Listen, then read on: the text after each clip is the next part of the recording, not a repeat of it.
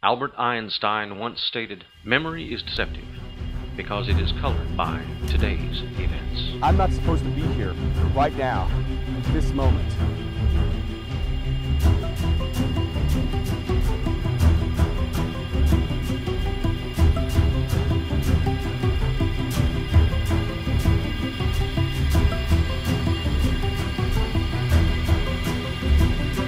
Yeah, it seems like this one was involved with pivotal.